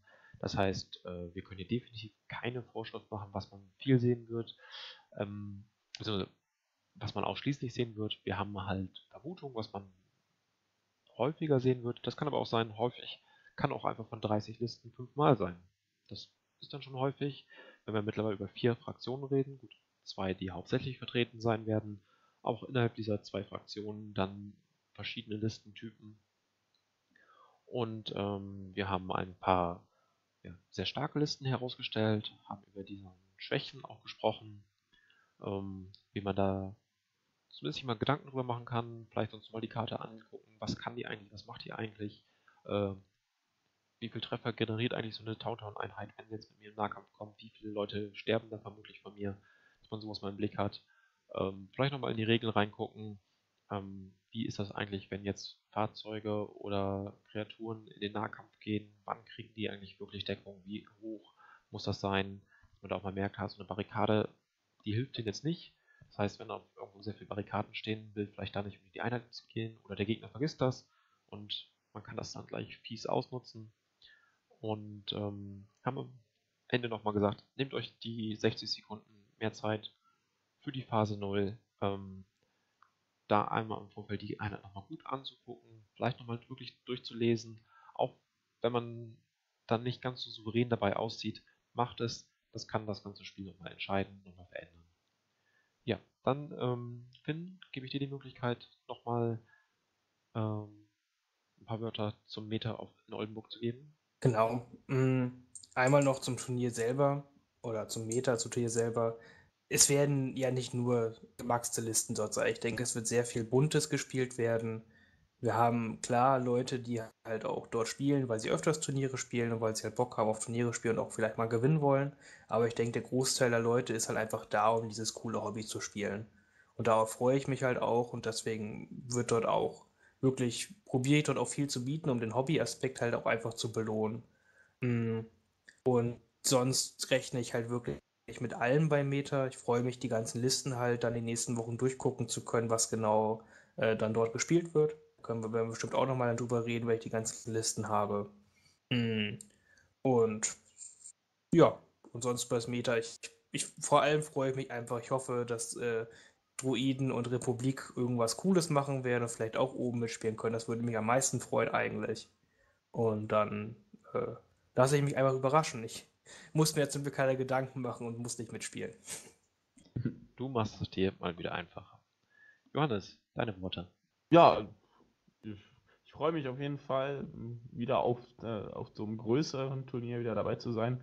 Ähm, ich hatte ja jetzt die letzten Wochen wirklich ein bisschen äh, Flaute nach dem Turnier in Nürnberg. Habe mich sehr geärgert, dass ich nicht in Gelsenkirchen dabei sein kann und freue mich dann auch da, die Listen äh, alle zu, äh, ja, zu begutachten und zu schauen, äh, was da sich die äh, Jungs ausgedacht haben.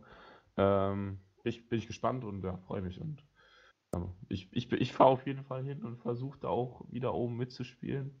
Äh, keine ist so einfach so ein bisschen der Ehrgeiz und äh, ja, mal gucken, was da rumkommt. Ja, dann schließen wir es mal ab. Gehen wir mal in die Hobbyzone. Ähm, beziehungsweise vorher machen wir so einen Zwischenschritt nochmal äh, Oldenburg Turnier. Ich glaube, Werbung haben wir schon viel gemacht. Aber ähm, dennoch, Johannes, du hast gesagt, du versuchst wieder oben mitzuspielen. Finn spielt nicht mit. Also würde ich dir einfach mal gute Chancen einräumen. Da brauchst du jetzt dich auch gar nicht zu äußern. Aber da bist du auf jeden Fall einer der Favoriten. Das kann man, glaube ich, gar nicht abstreiten. Auch wenn es natürlich noch weitere gibt. Ähm, ja, ich freue mich auf jeden Fall darauf, in Oldenburg äh, auf jeden Fall schon mal, da kriegt ja jeder Spieler dieses coole, äh, ja, wie heißt das, Würfelfeld mit unserem neuen Logo drauf. Ähm, die Karten, die es gibt. Also ich freue mich einfach schon mal, dass ich nicht mit leeren Händen rausgehe. Ich freue mich auf fünf Spiele. Ähm, ich hoffe, es werden noch fünf. Ich glaube, rein rechnerisch könnte sogar möglich sein, wenn wir nicht die 32 erreichen, dass es nur vier werden. Aber ich möchte eigentlich gern fünf spielen. Das, äh, da müsst ihr beiden drauf hinarbeiten. Ich will das. Und ähm, ansonsten für mich in Oldenburg ist äh, das Ziel, ich will meine Spiele, wenn möglich, fertig spielen. Ich war die letzten Male doch immer recht langsam, hatte Probleme damit, nicht fertig geworden zu sein. Wir müssen das Tempo anziehen. Ähm, auf der anderen Seite aber nicht wieder in diesen Tunnel geraten, wo dann irgendwie nur noch der, der Sieg im, im Fokus steht. Ähm, und da einfach mal ein bisschen entspannter rangehen und sagen, hey, wenn ich nach fünf Spielen äh, eins gewonnen habe, bin ich glücklich, das reicht mir. Und dafür aber fünf geile Spiele gehabt zu haben, das ist mir an der Stelle noch wichtiger. Das ist mein Ziel für Oldenburg. Und ähm, mal gucken, ob das klappt. Ja, wollt ihr noch was allgemein für, also ich gebe mal Finn in das Wort, du bist ja nochmal Veranstalter, möchtest du noch mal ein paar Highlights erwähnen? Oder ähm, vielleicht nochmal Aufforderungen, was gewisse Spieler noch machen sollten? Gut, ähm, Aufforderung. Denkt bitte alle dran, eure Armeeliste richtig zu schicken. Die ganzen Infos habe ich schon per E-Mail alles rausgeschickt und steht auch auf der Turnierseite. Äh, ist halt einfach für mich ganz cool, einmal um den Überblick zu haben. Ich möchte äh, unter dem Tool Tabletop.to, wo ihr euch bitte auch alle anmelden sollt, das wäre ganz cool, die Armeelisten dort reinstellen. Also so kriegt ihr direkt halt ähm, Push-Benachrichtigung, gegen wen ihr spielt und könnt dann direkt die Armeeliste des Gegners auf dem Handy halt angucken, gegen was ihr spielen müsst. Äh, erleichtert halt ein bisschen gleich die Zeit halt vorher, sage ich mal.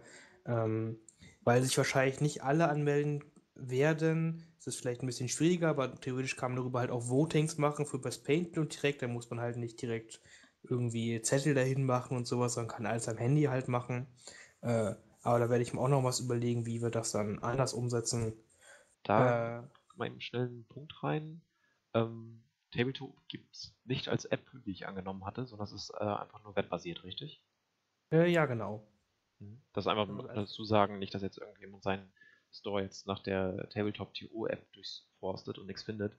Muss sozusagen einfach mal auf deren Internetseite gehen und da dann alles online machen. Genau, es ist auch nicht kompliziert. Es ist englischsprachig, ja, das ist das Komplizierteste an der Sache. Aber da einfach anmelden und danach, äh, wenn ihr Push-Benachrichtigungen auf dem Handy erlaubt, dann kriegt ihr halt Push-Benachrichtigungen, wenn Runden gemacht werden, etc. etc. Mhm. Und es ist einfach ein schönes Tool, weil es halt echt, weil es ganz gut paart und halt angenehm zu bedienen ist für mich als Orga. Ich habe es auch geschafft, mich anzumelden. War nicht so schwer. oh ja, genau. Und das heißt dann schon einiges. Ja, ja. Ne, ich, ich denke, Lars wird es auch noch schaffen, sich anzumelden. Ich bin da positiv gestimmt. Ich habe die Seite schon gefunden. Ich war nur in dem Moment noch nicht so weit. Step by Step. ja. ähm, und sonst äh, als Highlight könnt ihr euch einfach auf äh, sehr schöne, them äh, themengerechte Platten halt einstellen. Ich habe jetzt das sag mal, letzte halbe Jahr, neun Monate wirklich viel dafür getan, dass äh, wir sehr schöne Platten bei uns haben werden, die halt thematisch passen und die werden dort alle äh, eingesetzt werden, einfach um euch das bessere Spielerlebnis alle zu bieten.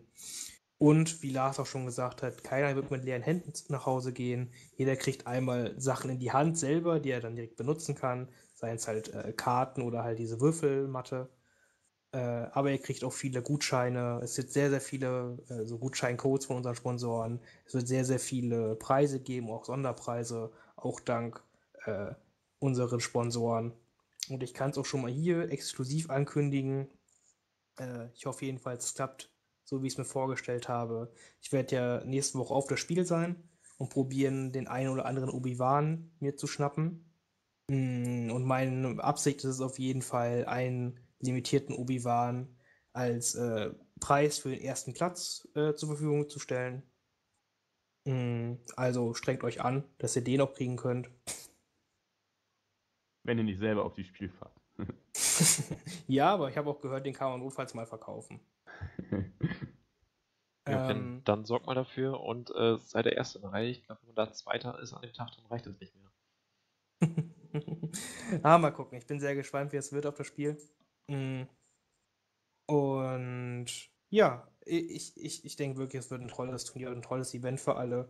Und ich hoffe, ich sehe dort wieder viele neue Gesichter dann in zwei Wochen. Freue mich auf jeden Fall drauf.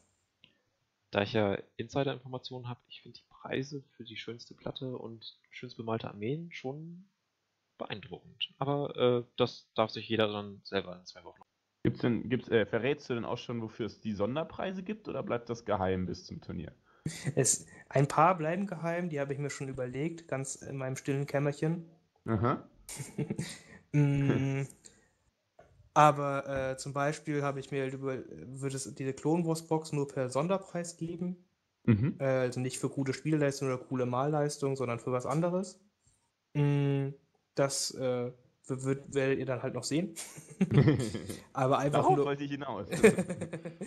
äh, aber äh, ja, einfach um keinen dann Vorteil zu geben, dass dann auch wer Bescheid weiß und dass dann hier zufällig dann ein von uns geht, das wäre irgendwie sehr äh, komisch. Ja. Ähm, aber es wird halt uns sonst noch genug andere Sachen geben. Also keiner wird wirklich leer nach Hause gehen. Es werden viele kleine Preise mitgenommen werden können. Und äh, alleine halt, wenn ihr eine Platte mitbringt, dann ist dann ist euch garantiert, dass ihr was kriegt. Das habe ich schon sichergestellt. Äh, als kleines Goodie, wer wirklich den weiten, den Weg auf sich nimmt und dann auch noch eine Platte extra mitbringt, um die dazu beizusteuern, kommt, kriegt ihr auch auf jeden Fall was. Mhm. Auch dank, weil wie gesagt, einen der Sponsoren, die ich da hatte, kann ich da einiges möglich machen.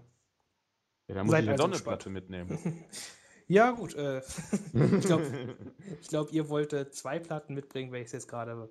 Äh, aber es ist wahrscheinlich alle, alle von Kai. Nee, nee, wir bauen. Also Kai, Kai und ich bauen immer zusammen. Ah, Aber er kriegt die Preise. Fairer Deal. So haben wir uns das abgemacht hier in Erfurt.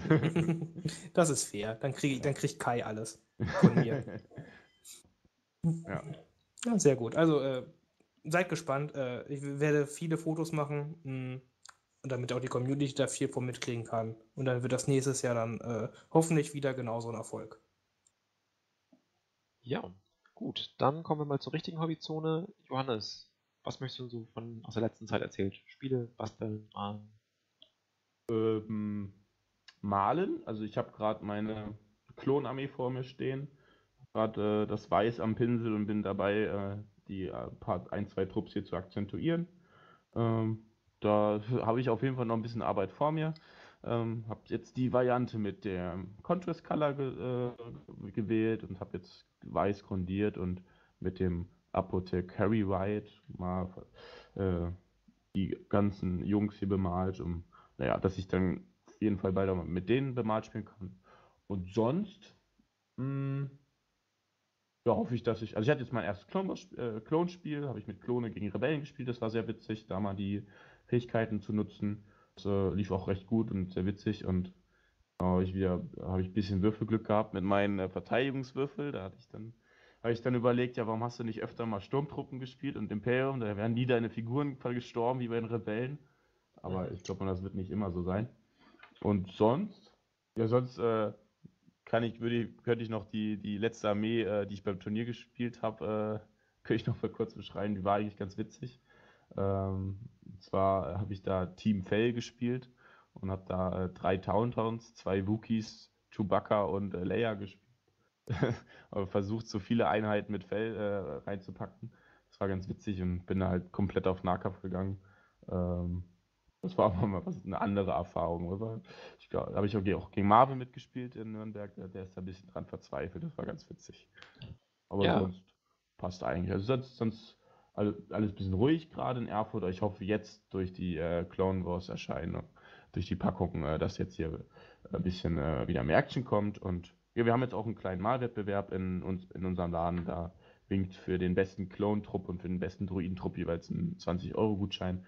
Ich glaube, das motiviert auf jeden Fall die Jungs auch, die Figuren anzumalen. Oh ja, das ist ja schon mal doch ein deutlicher Anreiz. Ja, könntest du ja vorbeikommen, dann nachher für deine Figuren abgeben. Wenn ich Klone oder Druiden hätte. Ach stimmt. Ja, du wartest ja. Also aktuell bin ich wirklich auf dem Punkt, dass ich sage, ähm, ich bin so glücklich mit den Rebellen. Ähm, da müssen die beiden Fraktionen oder eine davon sich noch ziemlich ins Zeug legen, dass ich es mir zulege.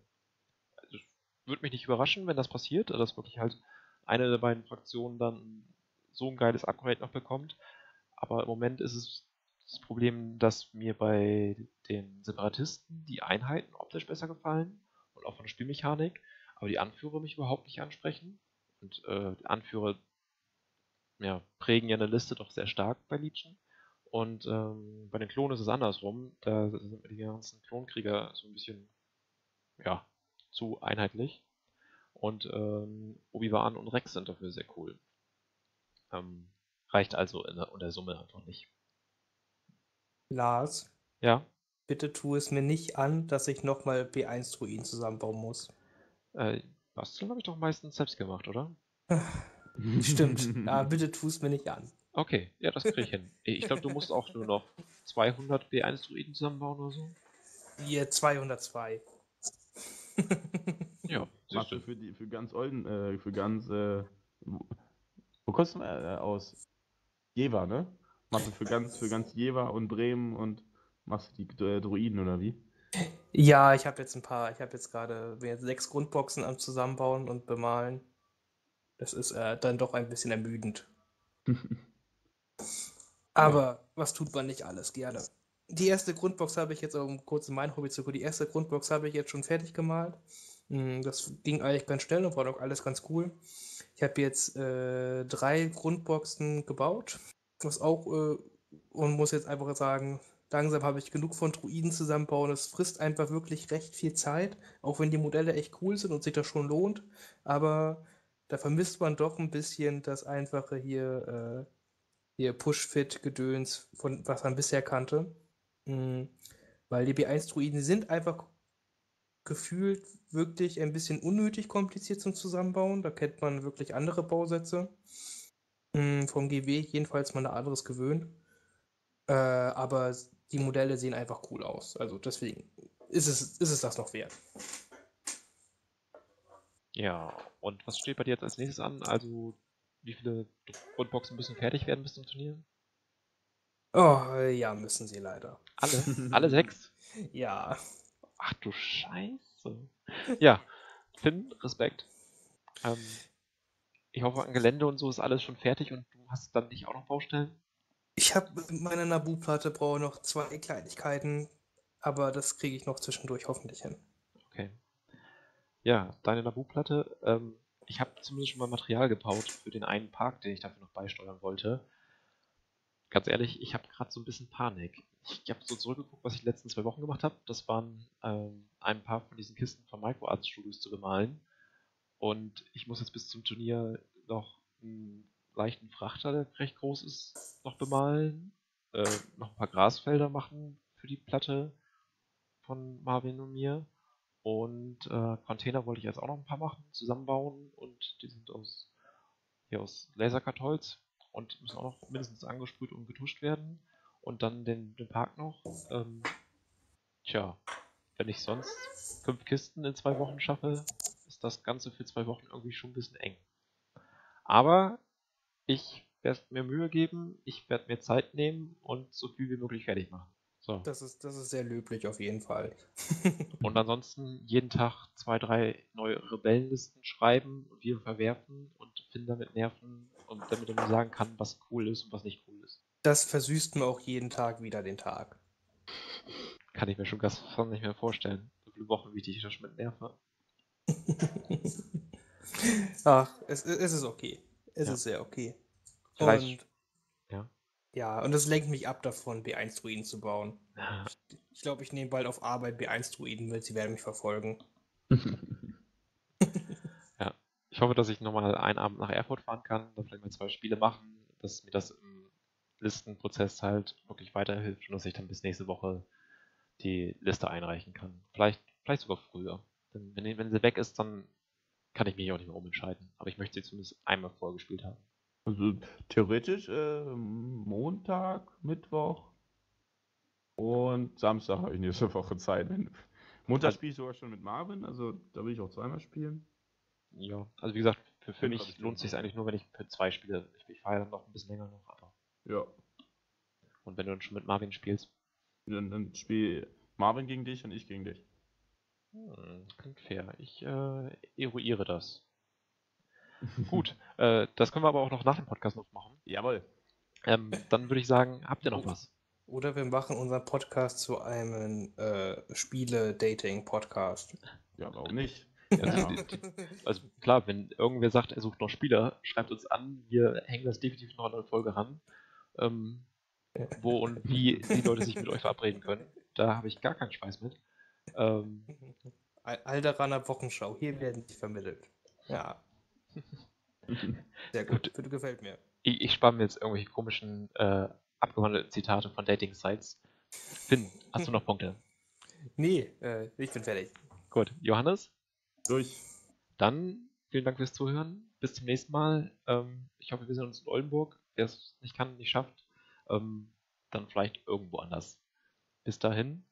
Tschö. Tschüss.